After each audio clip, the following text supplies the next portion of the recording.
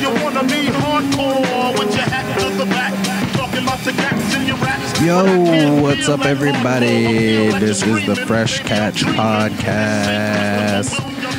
How's it going, everybody? You guys doing good? Uh, as you can see here, we got a little kind of a different kind of setup going on. Um, I got like a little video camera here, then I got a iTunes over here, and then underneath here, I got like a web browser with a whole bunch of tabs about uh, stuff I want to talk about. That's going to be kind of the format of this uh, this podcast. It's going to be just talking about dance music and not all dance music, other stuff too. Oh, I'm going to be honest. Looking through all these tabs, it's it's a lot of music stuff, but. Uh, but yeah, anyway, that's kind of the format of uh, how I'm going to do things for the for the Fresh Catch podcast. Um, Fresh Catch is actually a really really uh, good uh, poke place out in Hawaii that uh, is one of my favorites. Um, if you look at this little tab here, let me make this full screen or not. Jesus, come on. How do I make this full screen? Control, command, option. Jesus. There we go. Boom. okay, yeah. So this is a place called Fresh Catch. It's in Hawaii, and it's basically like a a poke. It's like poke heaven. Um,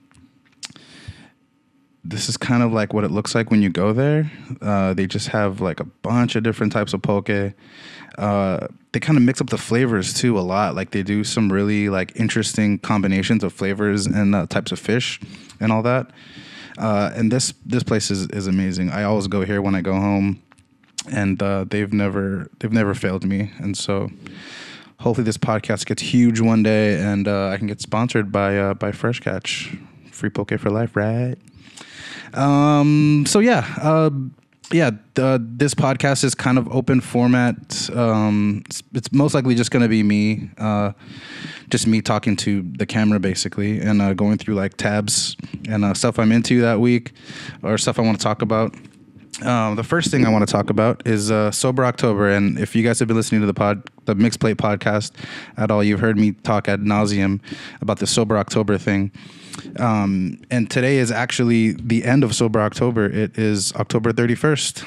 So I made it a whole month. Um, no alcohol.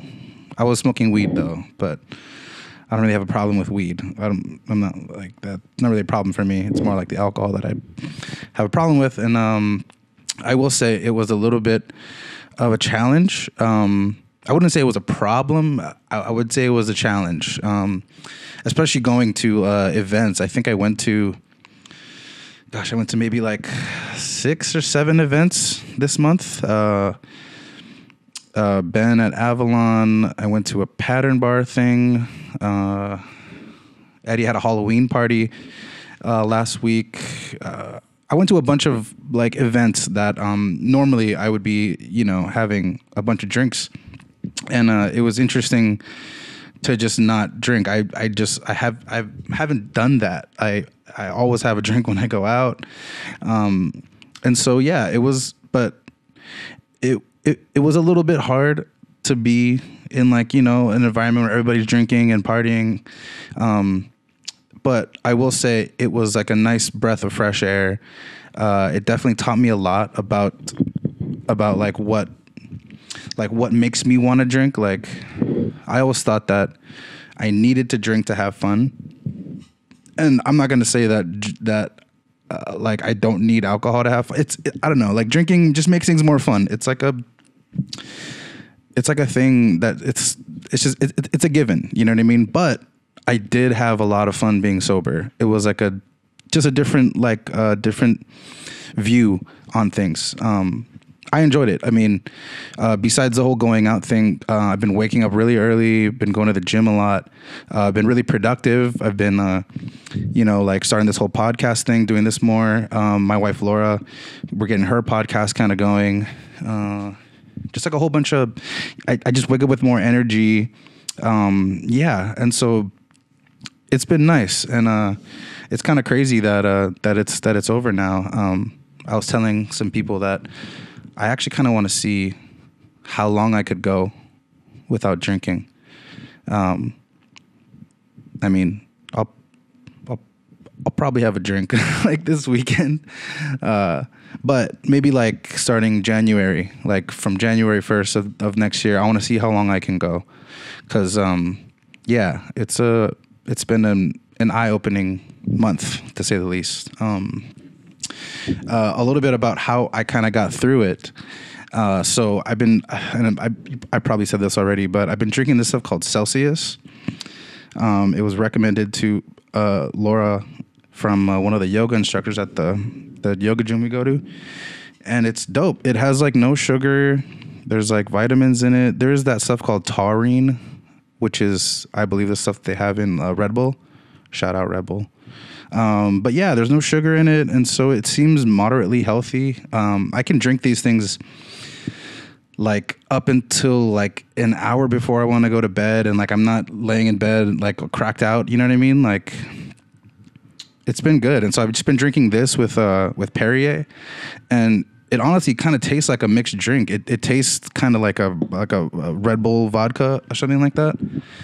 And so yeah, that was kind of like my my vice, I guess you could say. Like uh, I wasn't drinking alcohol, so I was drinking this shit, and um, yeah, uh, that and smoking weed and drinking coffee in the morning. So I know I'm not doing it right. You know, I'm just I'm like substituting alcohol for other things. But I mean, this is this is my first time going sober, so uh, I needed to do something. But the one thing that I did fail on is uh, I was supposed to do uh, 15 hot yoga classes or 15 classes at the gym we go to. Uh, I failed. I uh, I did not make it. If I open this app here, it actually shows me uh, how many classes I did, and I believe I did 10. I want to say 10. Uh, let's see my attendance. Yeah. Let's see. One, two, three, four, five, six, seven, eight, nine, ten. Did 10 classes.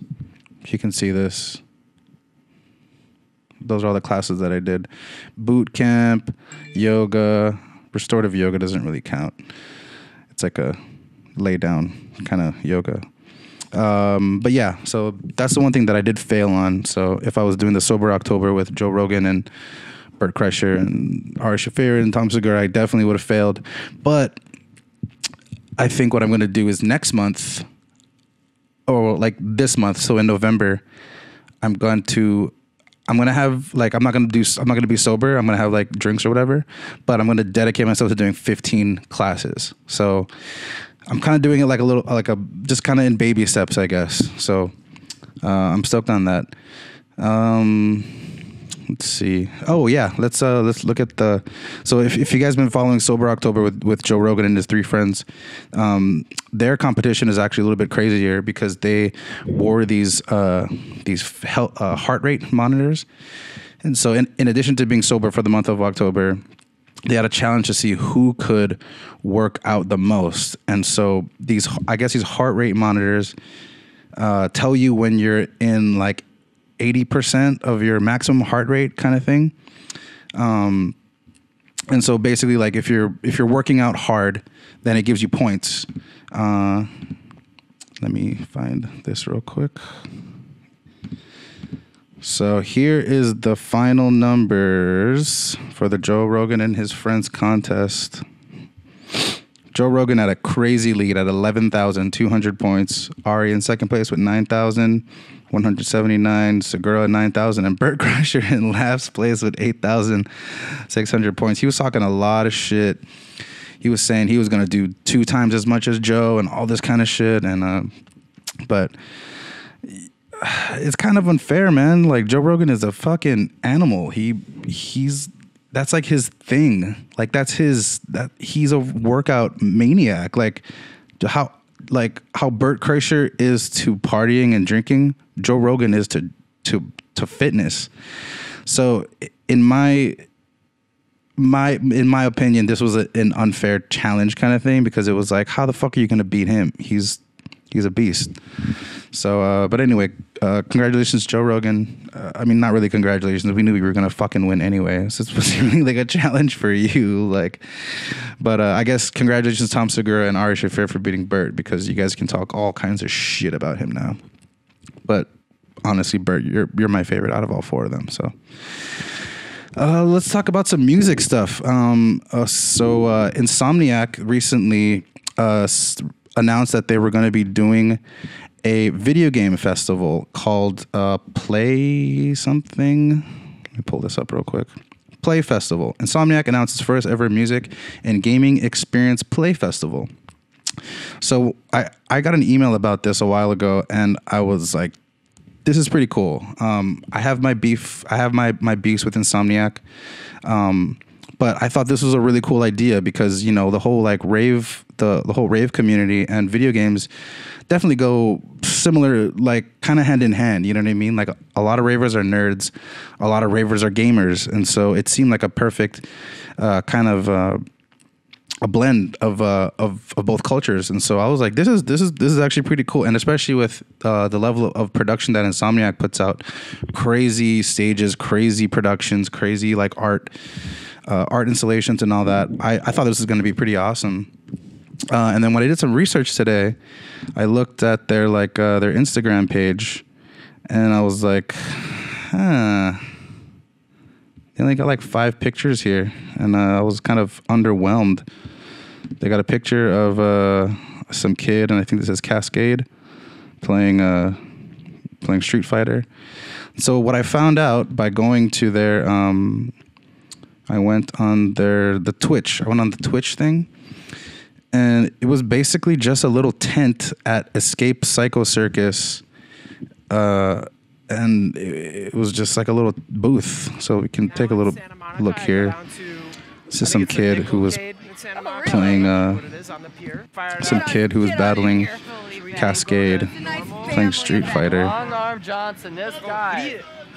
I am Ria. Uh, this guy, you know, he's got long arms. And so it makes sense that it's being broadcasted on Twitch because Twitch is obviously like a video game streaming platform. Oh, Um. Oh man, that is a really But I don't know. It, it, I thought it was gonna be a whole festival. Maybe like I read into it wrong or something.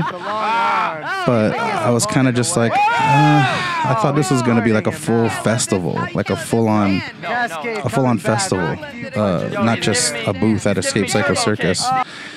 So, uh, I mean, I don't want to say it's a complete fail, but uh, severely, severely underwhelmed by this whole thing. Hopefully, they, uh, and you know what? I guess that's kind of stupid too because that's that's probably the only way you can really do that. I don't think a lot of people would buy tickets to go to a video game festival that was also like a rave.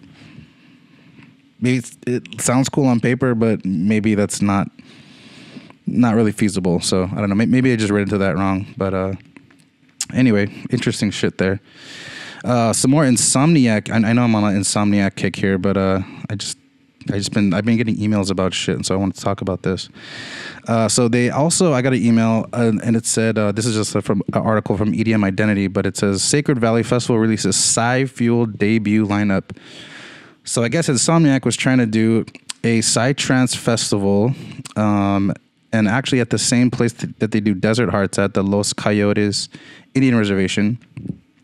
So my, my first thoughts were, uh, here we go. It's like Insomniac, like you know, like kind of clenching, clenching down on the little guys. You know what I mean? Like becoming this kind of like dance music monopoly kind of thing. Um, I was a little kind of kind of like eh, about it like fuck dude because i mean obviously that spot is like that's desert hearts you know what i mean like they kind of found that spot they perpetuated that spot um and so it felt a little like ah, man like just you guys are already like insomniac already is running all the biggest festivals. They control they it's it's pretty much insomniac shows every weekend at all the shows at all the clubs in in los angeles. And this this move kind of felt like man you guys are taking over like the underground too. Um i mean it's it's chill like in insomniac came from the underground. Insomniac created the underground you know what i mean? Like they were they started in the 90s and like now it's like it's the biggest shit in dance music and so i can't hit on it too much although i, I we're going to get to a segment um, in a little bit about why i don't like insomniac uh, but yeah um, and so got this email was kind of like whatever about it and then i got another email that said "Wah, wah, wah, wah, wah, wah, wah, wah, wah, wah, wah, wah." Due to unforeseen circumstances, we have made the difficult decision to cancel the Sacred Valley Festival. We've been working hard on this festival all year long, but we were not able to deliver the experience we had envisioned. Uh, bummer for them, I guess. Hopefully, they didn't lose a whole bunch of money. I'm wondering if the uh, the tribe that uh, actually runs the Los Coyotes reservation, maybe they realized what it was gonna be. They were like, "Oh, this isn't." Like some small kind of boutique festival collective. This is like EDM giant Insomniac, and maybe they wanted to keep it because let's let's be honest, Insomniac events tend to get pretty out of hand. Um, a lot of younger kids go to those events. I mean, I'm I'm not gonna sit here and like gatekeep. I was a, a, a dedicated insomniac event person when I first got into uh, the dance music world. I mean, my first massive rave was EDC 20, 20 something, 2010 or whichever the last uh, the last one at the Coliseum was. That was my first one, and I've, I've been a diligent insomniac uh, attendee for for years. I went to EDC, fuck, seven years in a row. I think something like that. so yeah, uh, that was that Sacred Sacred Valley canceled. Sorry. Um, this is what I really, really, really, really, really want to talk about. So, about two years ago, I'm working on Revolt TV with uh, my homie Jordan Diaz. Shout out Jordan Diaz. And uh, he had this idea to follow around Pasquale Rotella of Insomniac and kind of go to all the places around LA where he did his first Insomniac parties. And um, he agreed to it. The whole Insomniac team was was really pumped on it. We wrote out this amazing kind of like outline of like uh, where where where he was gonna take us to and the stories. Like we just we wanted to go to three different places.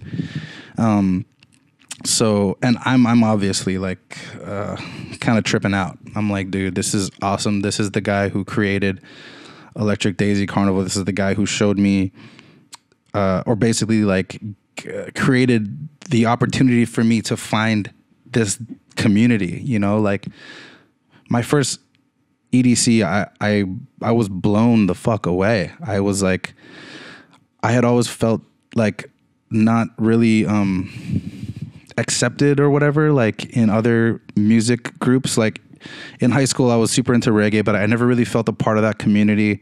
I was in a band like with my homies and we would play like screamo and shit. That was cool. Like that was like I felt a part of that community but there was something about like the dance music uh, community that I, I really really gravitated towards and I really like was like okay yeah this is this is definitely striking a nerve with me like I'm I'm getting I'm having certain feelings for like the music and the people and the vibe and the lights and the it was just like it it worked for me so um the fuck was I? Oh yeah. So I'm I'm like tripping out. I'm like, dude, this is awesome. I'm gonna get to we're gonna get to meet him, follow him around, talk to him. He's gonna tell us all these dope stories about about uh about his his his early days throwing uh, events in LA.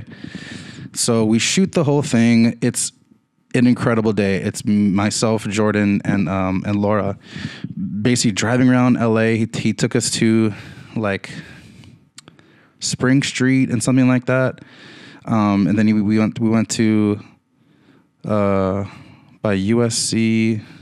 I, don't know. Anyway, took us all these spots, told us amazing stories, and like seeing his face like light up when he would enter these spaces, it was like it was like seeing somebody's it like when you when we walked in because I was filming the whole time with the camera, but we would walk in and you would see the look on his face and it was just like you could almost like see all the stories and all the all the feelings that he had just kind of rushing back into his brain.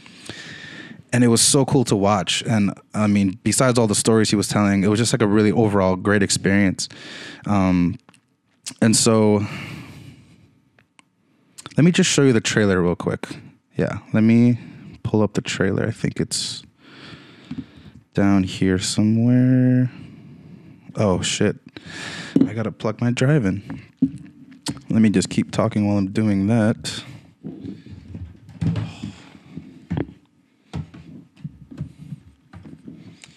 Yeah, so what I'm gonna show you right now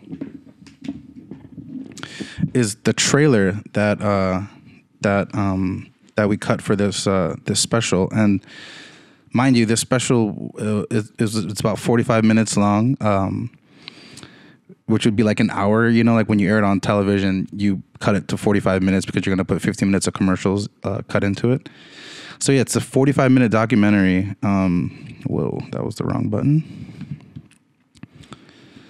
Find the let's see. Ugh, hold on, drive.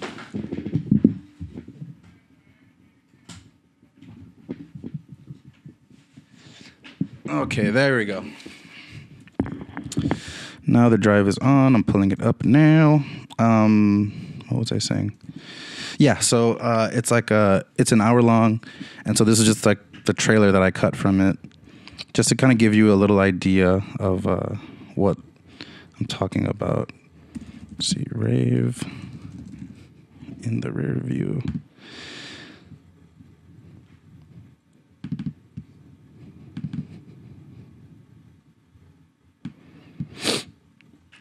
Let's see, rave in the rear view trailer, YouTube.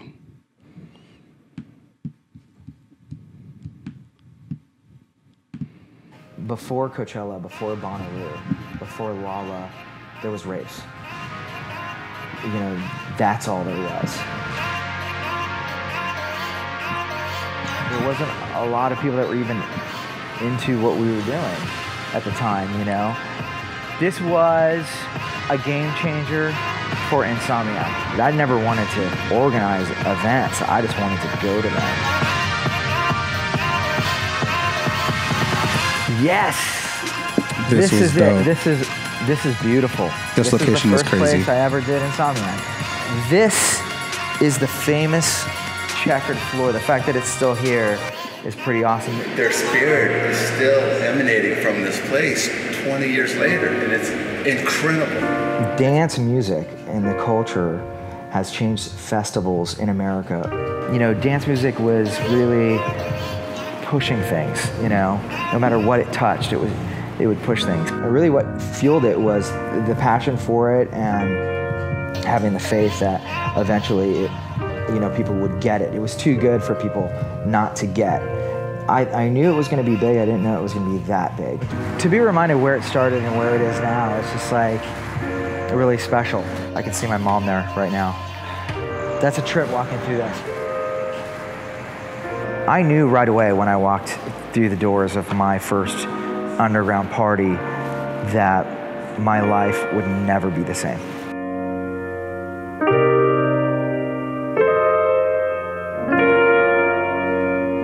This is me and Jordan driving in his car down my street in Hollywood.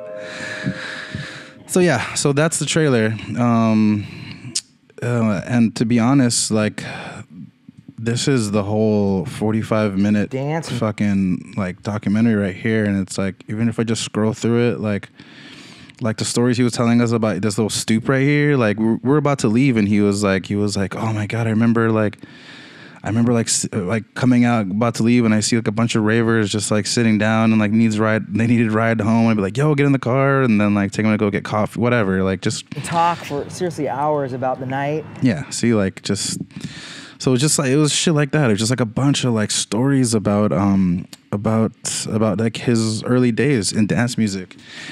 And so the reason why i got beef with pasquale is because so we finished this whole 45 minute documentary basically on pasquale and uh, we sent it to him like the rough cut it's about like whatever three days be- uh, three or four days before the the release date and uh, we sent it to him. We're really confident about it. Like we've we've put a lot of work in, and uh, we're like stoked to hear his feedback. And so we get an email back, and it um, says like, "Hey, we love the piece. This is awesome. Um, we have some uh, unreleased like archive footage of Pasquale from from the 90s from these times. And um so he asked he's like uh let me let my guys take a whack at it. Let me uh let my guys go through like all this archive footage and they'll just add stuff to what you guys have created and it'll make it awesome. And we were like dude hell yeah. That's fuck yeah. Because we like we were getting b-roll from I think we got some of the B-roll from um, from actual like old Insomniac events, but most of it was just like, you know, we're just searching like raves, underground, 1990, just pulling up like whatever footage we can from the internet to use as B-roll, just to kind of get the point across, you know, so people can see what it looked like back in the day versus now. So we're all stoked. They send the video back with the additions to it that they said they were gonna do, and they like cut out all kinds of shit. They like cut out whole parts of of like the interview. Um, they basically made it look like like an EDC trailer. It was just like a lot of flash and a lot of ba ba ba ba ba ba. Um, and we were like, we were kind of like, dude, this is like not like we're not making like a trailer for you. Like we're not, you know what I mean? Like we're trying to tell a story. We're trying to like tell your story. We're trying to tell like tell every like let everybody know what it was like for you to like do this in the 90s when it wasn't huge, when it wasn't big, it wasn't popular. Like they did it for years and probably made zero money, you know? Like those are the stories that we were trying to tell and he like just wanted it to be like a fucking like an advertisement, which is which is weird because like I mean, back then, Revolt was like a multi-genre like TV station or whatever, but we weren't like the biggest thing. Like you know, like they could have definitely spent money just just like on Facebook ads or YouTube ads and got way more traction than our audience could have brought them. And so it was a little bit like I didn't understand. So we're kind of going back and forth with him. And it basically comes down to him saying, Well, if you don't air the version that like I gave you, then just call it off and it was fucking i mean it wasn't up to me obviously. I was just like the shooter editor. There was like my my coworker jordan who produced it and then also our boss and then their bosses. And so it was because it became this thing like like so pasquale basically just emailed puff directly and told him like hey, like your workers, like I don't like what they're doing and blah blah blah, and like Puff, you know, Puff sent it to his assistant, and his assistant hits us up and it's like, yo, what the fuck is this? like, what are you guys doing? Why is this guy upset? And it was this whole mess, and like, so at that point, it was just like, well, fuck, dude, like we're trying to do something cool with you and like you go way over everybody's not not my, not even my head jordan's head our boss's head. You go over everybody's head and hit puff directly and say that you're not happy. Like we're we're willing to come to a little bit of a medium you know? Like okay like maybe like the trailer can the, like the trailer for this documentary can be super edc flashy or whatever but the main content of it we still want it to be you know more like documentary kind of style so it was hard, man. It was like a I was like Jordan asked me, he was just like, What do you think we should do? Should we just pull it or should we just should we just say fuck it and air it? Like what do we and so eventually like our bosses were just like, Well, fuck it, just pull it. And so I literally have this 45 minute documentary sitting on a hard drive. And I was just like, man, it's such a shame. It's such a shame that it had to end like that. Um, and that's what put a bad taste in my mouth for insomnia. And I guess it's not like insomniac in general. It's more like this little one interaction that I had with with Pasquale that really put a bad taste in my mouth. I was just like, man. And that's like one lesson that I learned from it, which is uh, a quote that somebody told me later, and it says uh, the, the quote is something like, "Don't hold your idols too high because, like, if you meet them and like they don't." Uh, meet your expectations of what you think they are, you'll be like crushed. And I'm gonna admit, I, I was I was a little bit crushed, man. I was like, dude, like I'm gonna get the craziest opportunity. I'm gonna do a, a fucking documentary about Pasquale. This is the shit. Like, and then when it all fell apart, I was super bummed. Like, and uh, oops, that's not the button. Let me make this full screen real quick. And I just did like a quick search in uh, on Google. It said Rave in the rear view. So I clicked on the first one. So this was yeah, this was August 24, 2016. So this was like, you know, a tweet that Revolt put out. And this guy comments, You guys took that shit down. What gives? Censorship much? I hear you, brother. Uh, G's Louise Ltd on Twitter. Yeah, man. I was I was I was pretty bummed. Um, and then what else? I I was clicking on some other links here. Raven. Oh, here on Reddit. Good old Reddit. Revolt.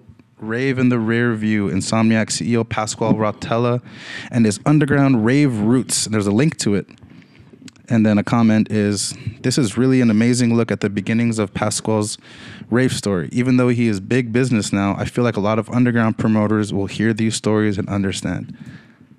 Absolutely. That was the point. The whole point was to like like kind of show people like where Pasquale came from. I mean, everybody knows him as this, this dance music behemoth. He's like you know he's like the like the dawn. he's like the dawn of dance music he like he runs this shit so hearing the stories of how he came up were so fucking interesting and and you're right like promoters will totally like understand and like you know like kind of I even feel like if we just put this this out, it would have made a lot of people who maybe don't fuck with Insomniac, don't really fuck with Pasquale because like you know it's mainstream and popular or whatever.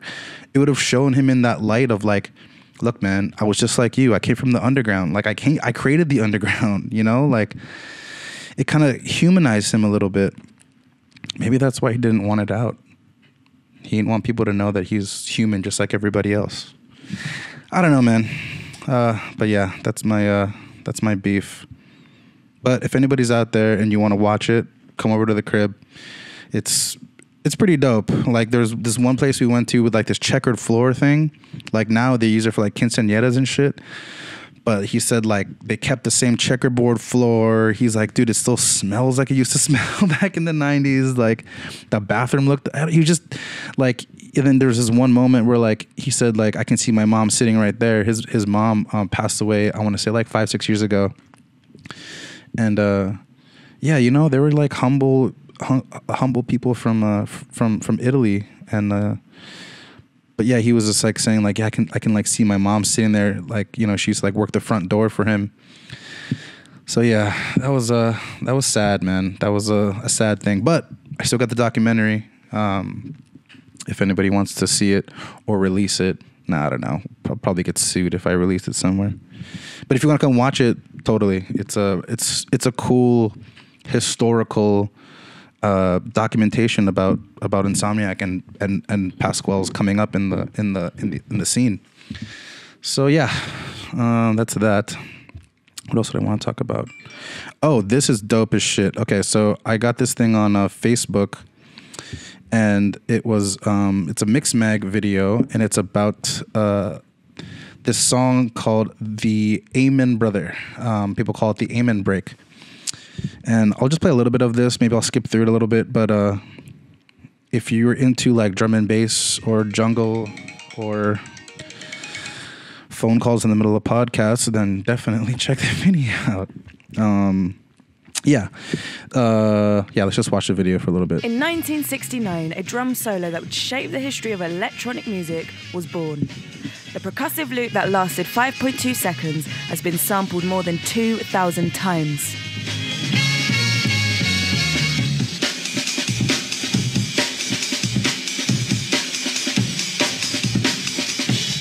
So that that right there is the amen break that. And so basically this video is talking about how um, the band uh, they're called the Winstons in 1969 created this song.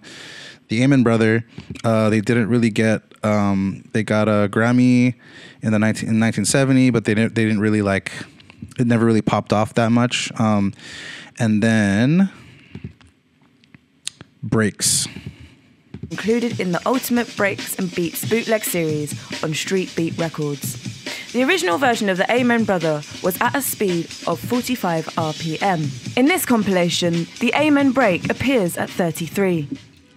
In the same year, the EMU SP1200 sampler was released, meaning the birth of sampling was born. So this is kind of where the whole thing took off is when uh, sampling was created, uh, and so The Amen break had a huge influence on music. Let's start with hip hop. Salt-N-Pepa were one of the first hip hop groups to use the sample. In 1986, their track I Desire features the Amen break. Soon, a wealth of hip hop artists followed suit. Rob Base and DJ E-Z Rock, Tuff Crew, and Success-N-Effect all had It's used like the same sample, just slow down for that one. The Amen break is the smooth This backbone to the title track of NWA's beloved debut album.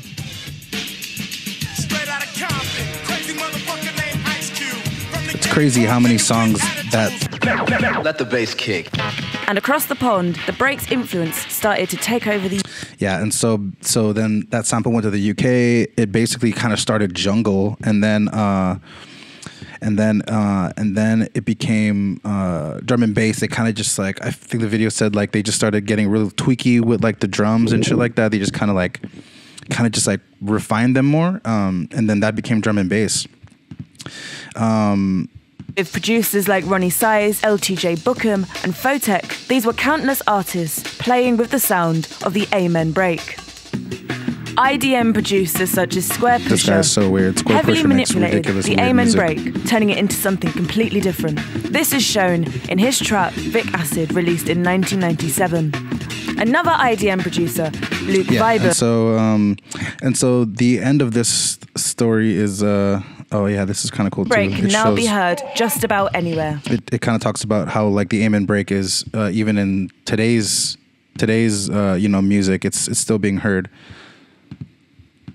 From the dark alternative hip hop of Tyler the Creator's Pig to the skewed lo fi house of DJ Seinfeld's One dj seinfeld Bounce. lo-fi The Amen break is the most used sample in modern day music. crazy But what did the Winstons think about this? Considering they made this so long ago, how do they feel about their contribution to the world? Tragically, Gregory C. Coleman died homeless and broke in 2006. He never received royalties for his legendary drumming, fucked up dude they just said that's the most used sample of all time and never got shit for it and the use of the Amen Break sample.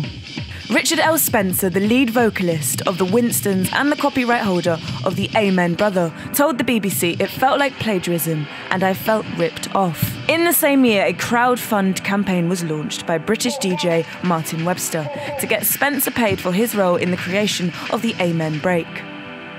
More than 2,000 people donated, and Spencer was awarded $24,000. 24 stacks. In 2017, I mean, that's Spencer not a lot. and the Winstons that's probably not a lot considering how much money other people made from using the sample Salt-N-Pepa nwa just to start you know what i mean like but then it goes on to say that i think they raise even more money to reimburse the members of the band um, but yeah i just thought this was a really That is really the cool amazing story about the Winstons' Amen Brother and the amazing sample, the Amen Break. Amen break. Great, great, uh, great video put up by Mixmag. Uh, tons of information and uh, you know, just like kind of showing the history of uh, of uh, of some some dance music shit. I mean, that's insane to to say that that's the the number one used sample in history. Like, so yeah, uh, I thought that was cool. Um, let's get off of uh, music for a little bit and let's check out some uh, something that I saw on Instagram the other day. Uh, so there's this. Let me make this full screen. I stumbled upon this uh, this page called Surflakes, and uh, I think this was the video that popped up when I first saw it. Um, but it's basically like it's a it's a new type of wave machine. So if, if you guys are familiar with uh, surfing at all, uh, Kelly Slater made probably like the first legit legit uh, artificial wave. And the one that he uses is more like a it's like a train that like flies it's like a pool it's like a humongous pool with like a train attached on the side of it.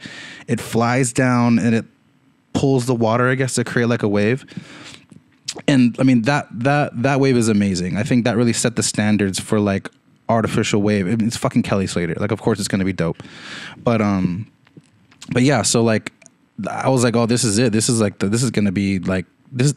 What I thought when I saw Kelly Slater's wave was this is how they'll be. You know, let me just look it up real quick. Let's see, Kelly Slater wave pool surf Ranch. So when I first saw this video, I was like, dude, this is how they can finally do like surfing like in the Olympics because I mean, if you've watched surf contests, you know that it's like it's kind of like a weird thing because like all like five guys go out there, and then they're just kind of waiting for waves, and there's no really like order to it. You just kind of like pick whatever wave you want. You wait for a big one. You kind of, and so like it's it's really weird. Like obviously if you surf there all the time and you know that break you're probably going to do better in the competition because you know where to sit you know where the waves are going to break you know what i mean like it's kind of like a you can have an unfair advantage if you're from there you surf that break often.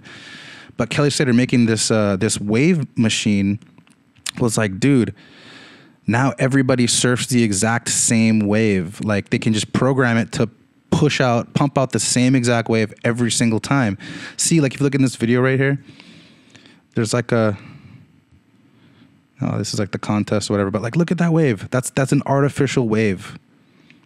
That's ridiculous. Like look at that thing everybody's in the background chilling having beers like hopefully there's a video of like how it works. Oh yeah here we go. There's a video right here. But look at that. So that's like the train. That train thing kind of pu- like i think it pushes or pulls the water or whatever. But anyway, okay, so this was I thought was going to be like the standard for for uh, for artificial wave surfing. And then I went on Instagram and saw surf lakes. And let me just play this video for you real quick. This shit is insane.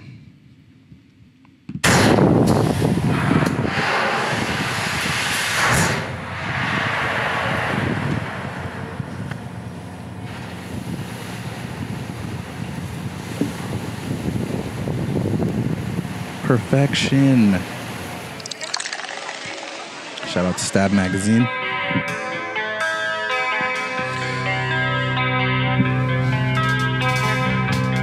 All right, so let me just skip forward real quick. They're just kind of explaining how it works, but it's basically like an air compressor kind of thing that it just kind of it, it shoots it up and then slams it down and then creates a wave You know, in a circle. four different peaks, and we've got this one over here that's like a little mini slab, and then we- we've got mine that's at the moment, you know, really user friendly, but when it's bigger, it could be a, hopefully going to be a slab too. And then we've got a beach break and another wave, so we've got variety. This is a test site, obviously, like you said, but in the commercial sense, we can pump six to eight wave sets. So um, way more waves for everyone, and variety was what we have. so dope. See, like, so it's doing it in a circle. So like, there's like several breaks that people can like can surf, which I was just like, dude, that's this is next level shit. Like, Look, it's, it's really just a big a big pressure pipe. So you just push it up, it falls down, you push it up again. So the finesse is, is, is in the timing of all of that, so it works in harmony with the water. So once it's moving with the swell, then it just looks perfect. I mean, we see some pretty good results here today, uh, and it's still not perfect yet. it's So still not perfect yet. Did you hear that? right. It's still not perfect yet. That thing already looks perfect. This is a cool shot from up top. Like you can see how it.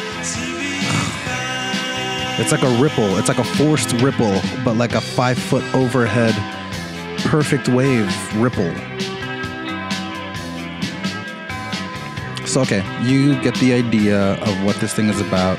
Um, I'll just keep this video playing, but it's like, dude, yeah, I I was just blown away at this because what this does is this type of this type of machine makes surfing accessible to everybody. I mean, for the most part, if you want to be a surfer, you got to live on the East Coast, and not just the East Coast. You got to live like L.A., San Diego. Like I know there's surf out in like in San Francisco, like Ventura. Uh, I think the further you go up, it just starts getting colder and colder and colder. So, um, but yeah, like you like this is in Australia, and from what it looks like, this looks like a man-made lake. It, it doesn't look. It looks like they, like they just dug a hole basically, and then filled this shit with water. You know what I mean? Like you could.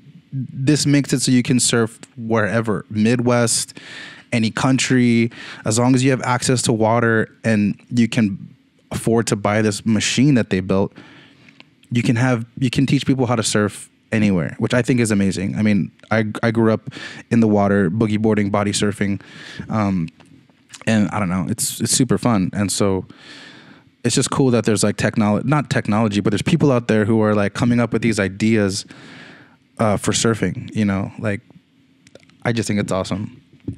Oh, and then I, I also watched another video too because it looks pretty crazy when when all that smoke kind of comes out and people are like, "Oh, it's not environmentally conscious and you guys are burning coal." And they're like, "No, no, no, it's just uh it's uh that is steam, I guess, from air pressure or something like that. So it's like a environmentally conscious thing too. Check it out. IG uh on Instagram, there's surf called surf underscore lakes. Just yeah. I cannot wait for this thing to come to America somewhere. Because it's cool because like my wife Laura's always wanted to learn how to surf, but she's scared of like reef and sharks and you know she's just like she, she's just like scared to be in the water like in the ocean but with this you can like teach somebody how to surf so they're more confident on a board they know how to like paddle and duck under waves but you can teach them in a controlled environment where there's not you know all like the the natural um, elements of the ocean that are terrifying. So and then when you go to the ocean then you kind of like know what to do before you get there You're like yeah it's going to be a little bit different obviously but at least you kind of know how to do it before you just jump in like the first time i took her to the beach in hawaii i took her to sandy's and she just got wrecked some dude like was like flying on a on a boogie board on a huge wave and i was like trying to push her down i was like go under go under and she wouldn't go under and just like wrecked got yeah it was hilarious but um but yeah, surf underscore lakes. Uh, I think this is amazing technology, and um, hopefully, hopefully it uh it comes here soon because it's pretty dope shit. Um, couple things before we close this thing out. Uh, oh, I want to talk about these books that I'm reading. Um, the first one that I, I just finished, uh, I actually read it on this little Kindle thing, which is actually pretty cool, man. I uh, I'm not a huge reader, but uh, this thing makes it pretty bearable. It's like uh it's light. I can like you know whatever you get it. It's a fucking Kindle. Uh, so the book I'm re- I just finished is called Music Habits: The Mental Game of Electronic Music Production by Jason Timothy.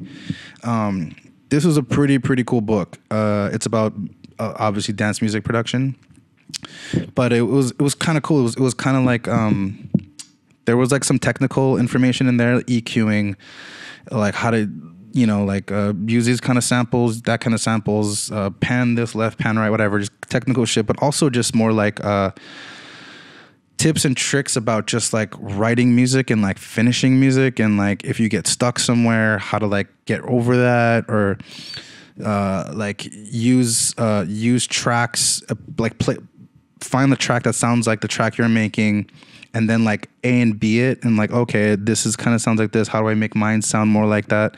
Just all these cool little like tricks uh, for uh, for music production. And I believe he has a um so this is the book. This is what it looks like. Music habits the mental game. Um where'd the tabs go? Can I just I can't do that huh? Got to do this every time all right, I'll figure out a better workflow next time. But this is the guy. His name is Jason Timothy. Um, I always would see him on uh, this page that he runs called Ableton Live Videos and Music Software Training. Whoa, that's a full screen video of. God, but it won't be public. So uh, I wasn't trying to play that, but yeah, I would always see these videos of him just doing these. Uh, Ableton kind of uh, courses on Facebook. And apparently he he also did this thing it was called like the 30 day challenge where I think it was you had to make a song every day or you had to you had to like work on music and upload it every day and show everybody what you were working on just to kind of that was one of his things in the book too was like like for an hour if you can just dedicate an hour every day to making music by the end of a year, by the end of like one year, you will have learned so much about it. I'm I'm super guilty of not doing that. I'll go months without making music. I'm like doing DJing or I'm doing video shit or traveling or we're going to festivals. Just like this shit just takes a back burner. But this guy is really pushing like dedication, like just make it like a priority to always sit down and make music so that um, you know you obviously the more you do it the better you are at it and so he's just trying to push that whole that whole mentality. Um, and then he also has a website called musicsoftwaretraining.com. Um, this thing called Producers Playground. I think you have to like sign up for it. Um, but tons of tons of tutorials from all the all the tutorials that I've seen from him on Facebook. The, the guy knows what he's doing. You know what I mean? Um, A lot, a lot of really valuable information, and he explains it in a way that's very like uh, easy to understand, like ingestible. It's like not he's not like speaking in like crazy technical terms, or if he if he does, he says like, oh, this is what I'm. It's called this, but this is what it's doing. You know, like he has a really cool way of of explaining things. Uh, then the other book that I'm still currently reading is called Making Music 74 Creative Strategies for Electronic Music Producers by Dennis DeSantis. Um, and it's actually like a it's like an Ableton I don't know if it's like Ableton, I guess Ableton certified book, I guess. But this book is really cool. Um, this one is this one has no technical uh, technical really knowledge in it at all. It's more like um, when you hit a roadblock, like say like you can't figure out uh, how to write like a melody or something.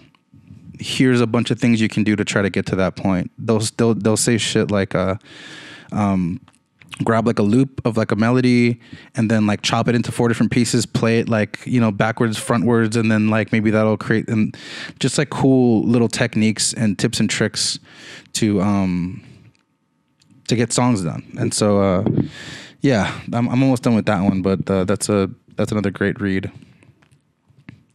Uh, i have to pee really bad so i'll be back in a minute. Coming coming coming coming out, coming out, coming out. It's been one week since you looked at me. Head to the side I'm angry. Five days since you laughed at me, saying get that together, come back and see me. All right, we're back. Sorry, I had to pee so bad. Um, what were we talking about? Oh yeah. Okay, so the next thing I want to talk about is um, Nerdmatics. Uh, this is a company that's run by uh, my really really good friend Chris Legaspi, who I met uh, in Hawaii. Fuck, uh, we were like third, four, se- 16, 17, 18, some shit like that. High school. Um, but yeah, so he runs this company called Nerdmatics with uh with um with uh Fred also. Um, they both run this company, and it's basically like a technology music playback. I don't even know how to describe it. They just like they're just fucking nerds. Like let me let me. I'm I'm just gonna scroll through their their feed real quick, just so I can show you some of the stuff they do. Okay, so this is like something pretty simple ish what they do. So this is for Majid Jordan. So they have like this MPC with a, uh, I think that's a Lem- Lemur iPad or Alesis something. So that's just like something chill that they do. Like they do shit like this, like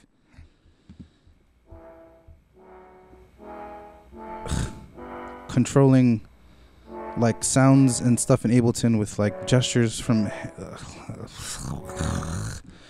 what um yeah they have their playback rigs kind of look like this just like laptops with like all this fucking gear in there um there's this thing that I've been researching called iConnectivity that uh, Chris told me to to to to check out and um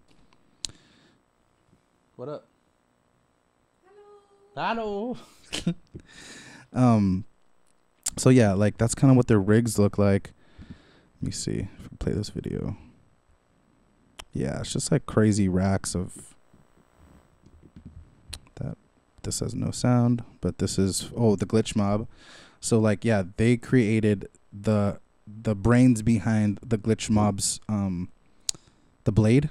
Uh if you guys know anything about glitch mob yeah it's pretty insane. Like lights and moving fucking blender looking metal shit and like they all have MPCs and keyboards and just madness. And so um why am i telling you? Oh yeah.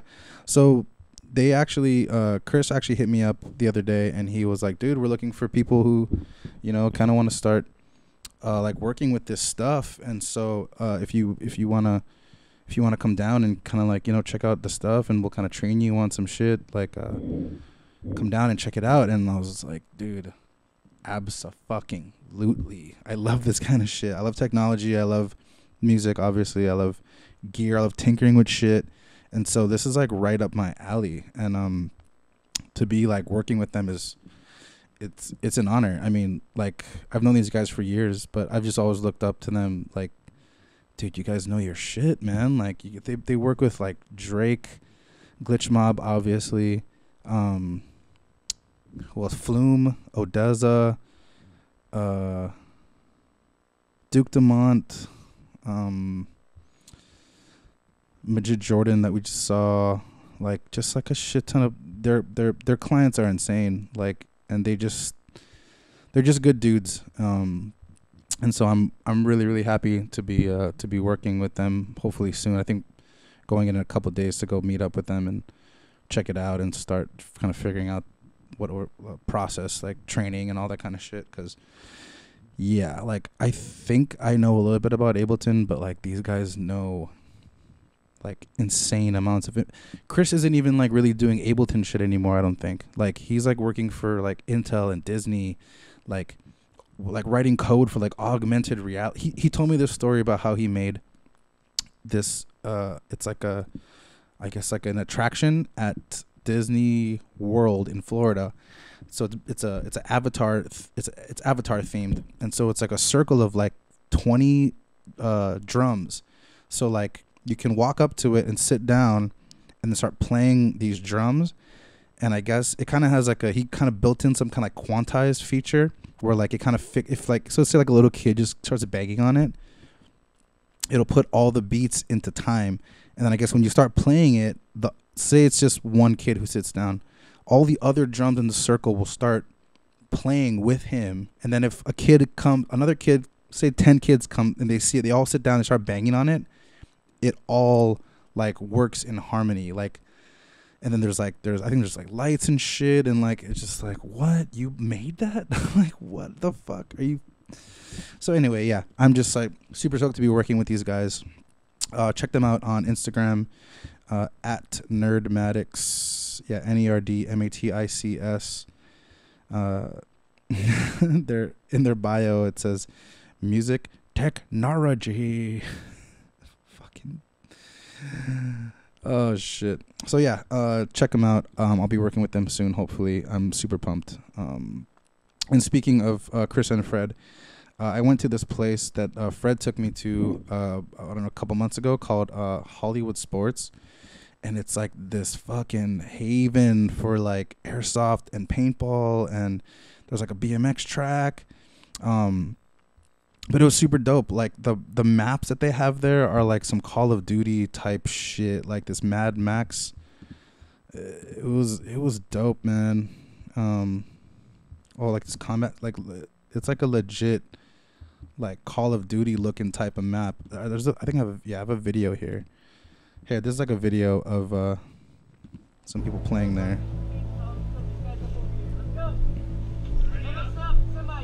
And the and the airsoft guns are crazy. They look super real, like scary real. All right, so there's, there's now they're starting the game. Look, look at that! Look at that gun. It just looks super real, and like even just seeing the view from this GoPro helmet is like, it feels like you're playing Call of Duty. And this is this is this is what it looks like in real life. It's, it's fucking cool.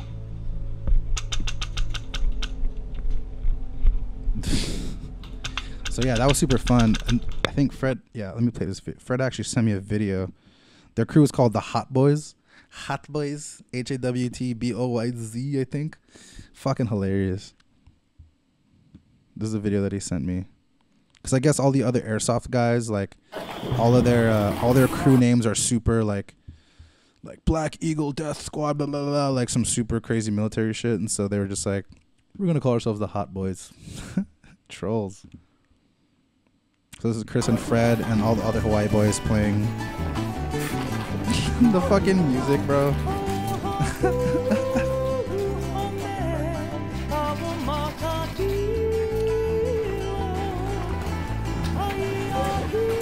the the fucking Kanikapila jams in the background are fucking classic.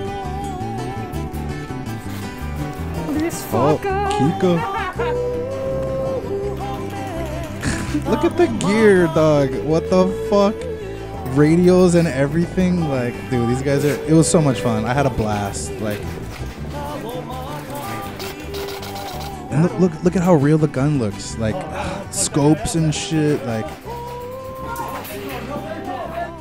it's yeah.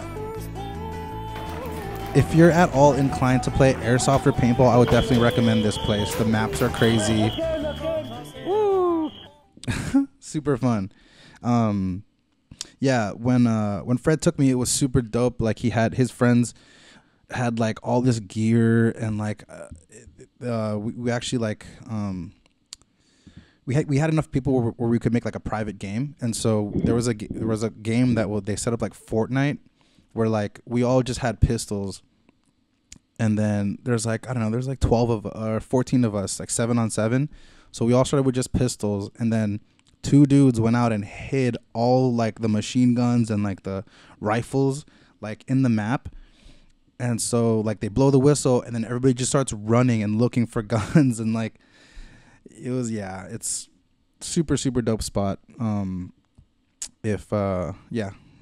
Hollywood Sport Hollywood Sports Park. Super dope. It's in uh Gardena or Lawndale or something like that. Um but yeah. Uh, what else I want? Oh, I want to talk about uh, John, our friend John Morris. Uh, we met him at uh, I think EDC a couple years ago, but he lives up, up in Santa Barbara. Uh, he came down a week ago, and I went to go have Korean barbecue, and uh, it was dope. It was his birthday. Um, but the reason I mentioned him is because uh, he's like been like a re- he's been listening to all like the mixed plate podcast and all that kind of stuff, and like it's cool to like talk to somebody who like listens to it you know? It's like it's just kind of cool to know that somebody's listening you know? Like and like he was just like yeah it's cool like giving me feedback and shit like that and like i, I really really appreciate it. Um hopefully we can just keep this thing going man. I have fun doing this shit. This is like not really my thing. I don't like to be on camera. I'm more behind the camera or like i'm editing or i don't like to be on camera but for whatever reason i kind of enjoy this format and doing it like this so um, so yeah, shout out to John Morris, man. He's a he's the dedicated listener, and we'll have him on the Mixed Plate podcast for sure sometime soon when he comes back down. I think he told me that he has like some crazy uncle or some shit that he wants to bring on who's hilarious. So yeah, that should be cool. Um, let's see what else I want to talk about. Oh, uh, Eddie Marvin just had a, just had a Halloween party um last weekend.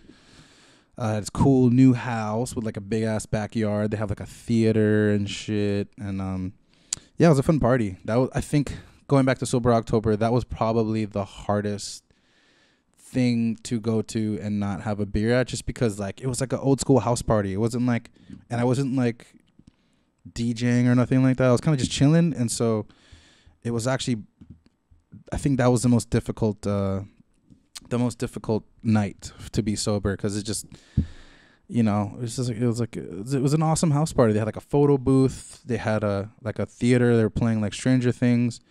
They had a um a setup uh, a dj setup outside a dj setup inside. Everybody was dressed up in crazy halloween costumes. I was just like oh i just want a fucking glass of tequila right now or a, just a beer. I just, just want a beer. So i think that was the hardest uh, the hardest uh, uh hardest thing about sober October was Eddie's Halloween party. Um, and he, he also lives across the, in his backyard. He said that there's a place called Paco's Tacos that's literally like across the street in the backyard. Um, hopefully we can get sponsored by them because Eddie says the tacos are fantastic and uh, we're you know we're we're we're mixed plate music. So we're all about food too. We're all about music, but we're also all about food. So shout out Paco's Tacos. Hook us up one day, cuh. Um, what else did I want to talk about? Oh, have you guys heard about this app called Turo? Let me just see if I can pull this up real quick. Search Turo. So our Jeep just um it didn't break down, but um Laura was driving home one day and she was like, "Babe, the left blinker won't turn off." I was like, "You mean it won't turn on or it won't turn off?" She's like, "It won't turn off." Like I I tried to like make like click it right, click it left, hazards. It just it just keeps blinking left, and I was just like, all right, it's, it's electrical, obviously. So I went on YouTube, tried to look it up, and like I was just like, oh, it's a relay, um, which is like a little like box. It's like it's like a like a fuse, like a big fuse. And so I figured I should have to buy that and replace it. Nope. So we had to take our car to Jeep in Santa Monica, blah blah blah. Anyway, we needed a car to rent. And so we were gonna go through um, our friend Jade. Uh, he works at Enterprise to get like a nice cheap little rental, but uh, he was busy that day, and so I remembered about this app called Turo. And so what this thing, what this app is, is it's basically like Lyft for car rentals or Uber, like Uber for car rentals. So like, okay, I'll just type in Hollywood. Let's say Friday till Friday, whatever. Search, and so what it does is it pulls up.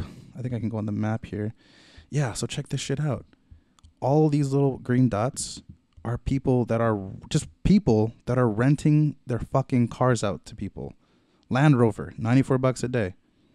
Chevy convertible, 187 a day. Mustang, $76. So you get the point. You know what I mean? You're basically just renting cars from like normal people, which I was just like little bit sketched about it. You know what I mean? But it's, oh shit, I actually have to return the car now. Let me, I'm to wrap this shit up. Um, but yeah, I thought this was a pretty cool app. Um, with the, you know, like we have Uber, Lyft, Airbnb, Bird Scooters. Um, I'm kind of liking where our society is going, I guess. So we're kind of all sort of sharing each other's shit. We're still paying for it, but like, I don't know. I like it.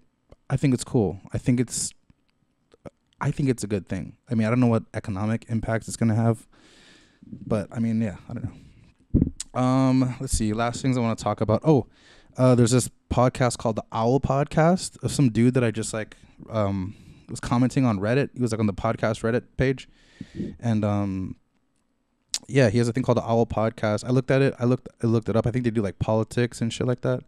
But he hit me up and he was like, "Hey man, um, I need like a, a intro song for my podcast." And I was like, I mean, I'm not like the best producer, but I can definitely like come up with some shit. Like, give me an idea. Like, let me.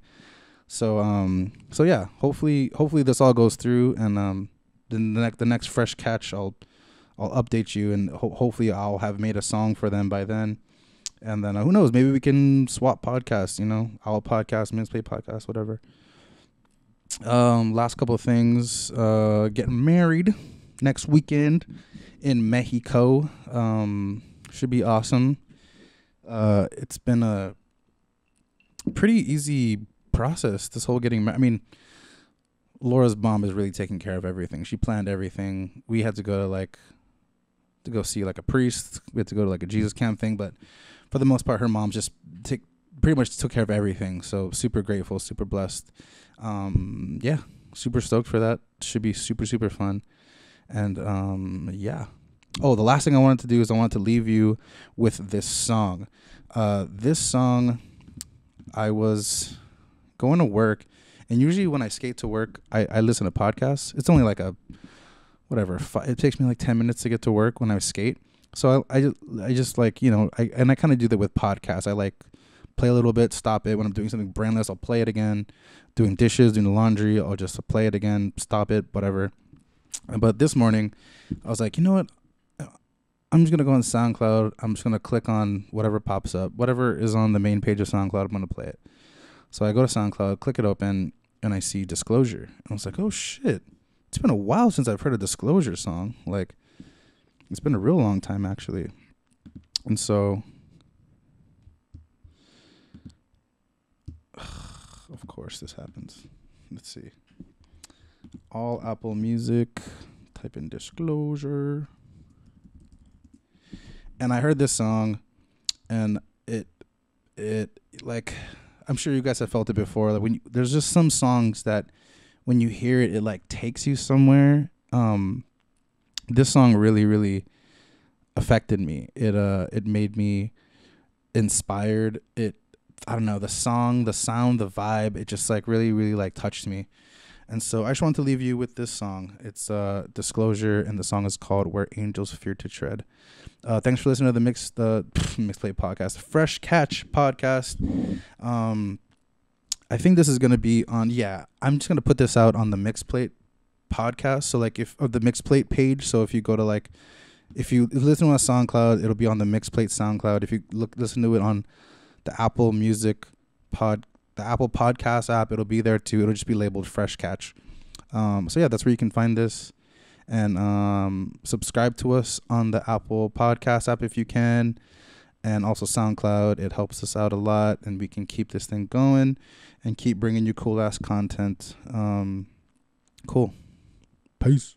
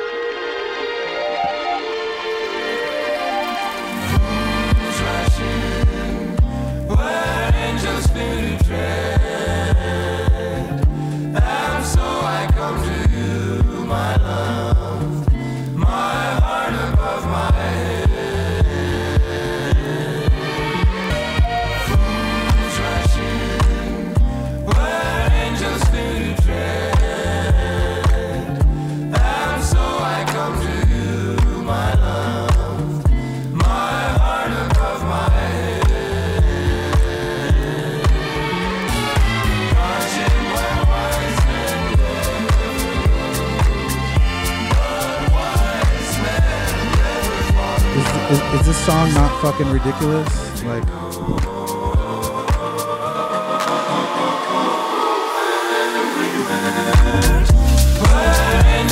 Ridiculous.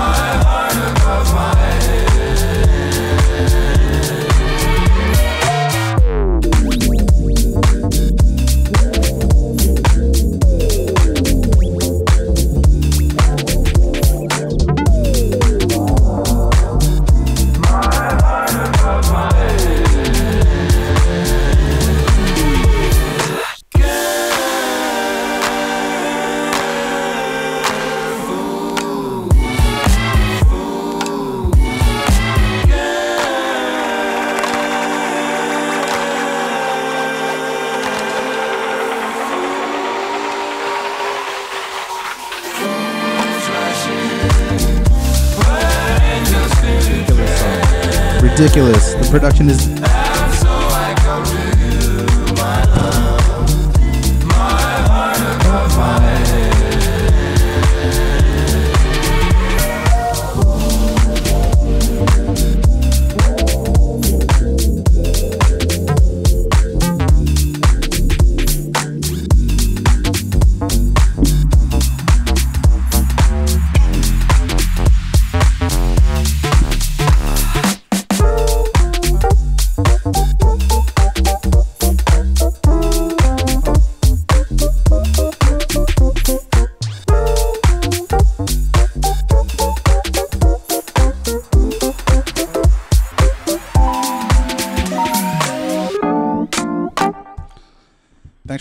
Guys. Fresh Catch Podcast. Be back soon. Peace.